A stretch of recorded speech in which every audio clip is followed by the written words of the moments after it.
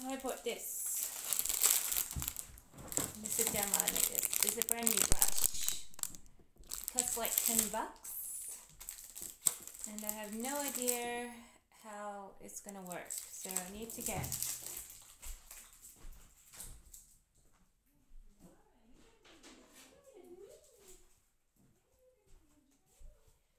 I need to get some scissors.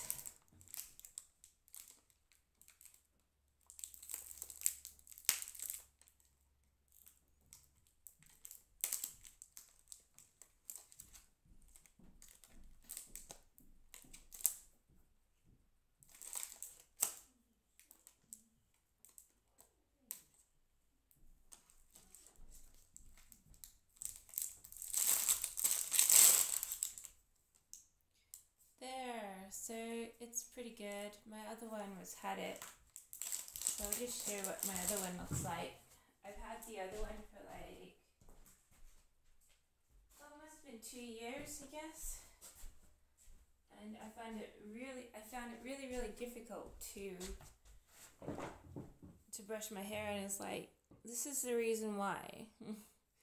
Literally, no little plastic ends on this more than half of them are gone. So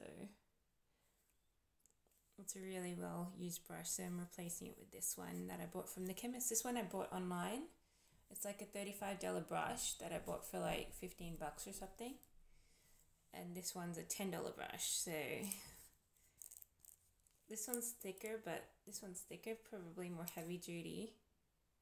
But they should be similar. If it doesn't work, I'll just buy another one online because that's where you get all your expensive things for on cheap. Always get good bargains online. So I've got to take this uh, this thing off. That is some sort of band, so totally replacing. Look, it's getting serious now. I'm totally like moving the band across so that this is officially my new one. I don't know if you have to rinse them though before you start brushing your hair. I guess I should. Usually I just use them, so I, I guess you don't really need to, but sometimes I do.